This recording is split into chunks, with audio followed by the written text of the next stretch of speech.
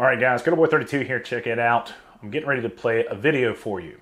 It's a very short video, but I will tell you this. When I watch this video, it makes me feel angered. It makes me feel very anxious.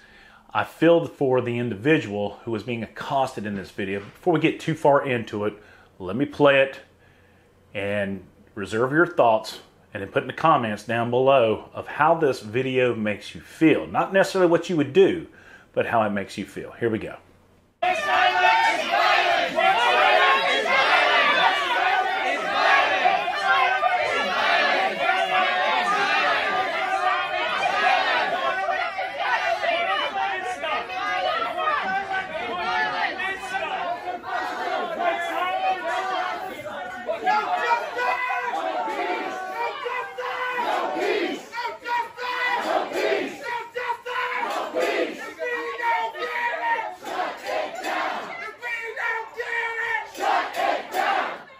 When I watch the video, I see someone who is being attacked.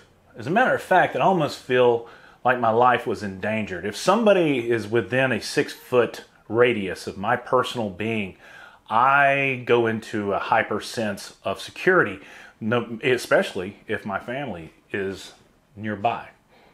If I was sitting at a diner and the individuals came up and threatened to do the things that they were doing, as a matter of fact, getting into my personal space is a threat. And I can see, I conceive of it as a threat. I don't know if that's the correct word. But if I had my family there, I would be extremely worried. And the problem, also the problem I have, is it was nothing but a photo op. If you see all the individuals are sitting around with their cameras taking pictures as this these little girls and these and this one guy get up in the face with their fist up. It's disgusting. And it doesn't serve the purpose by any means. And I know there's people out there that don't want me to touch on these subjects, but guess what? This video and what's happening right now in this world gets me concerned. There are individuals out there who are now running around with ARs during these riots and the problem is, is that there's certain individuals who say they're going to kick their ass. Well, guess what? If you try to attack somebody with a firearm, then they are within their rights to go ahead and utilize that firearm to protect themselves. And that's what happened up in Kenosha. Things are getting way out of hand. So, first of all, I want you to tell me how that video made you feel. Then, secondly, if you're up to it, you don't have to Tell me what you have done. Now, I know what I would have done, and I've consulted with a couple of my friends who are into law enforcement. And I think the first step would be to try to leave. If you try to leave and then they stop you and they are in your way, then you are certainly being threatened.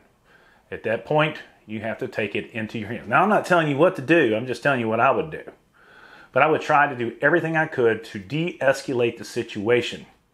And that's the problem. These individuals who are doing this, they're not a good representative of the cause and what they're doing. And I'm not going to say Black Lives Matter, Blue Lives Matter, or anything else. I'm talking about this specific subject right here. People who don't have a clue as to what they are doing, they are violating your right of freedom by being in your face and threatening you until you raise your hand in a fist.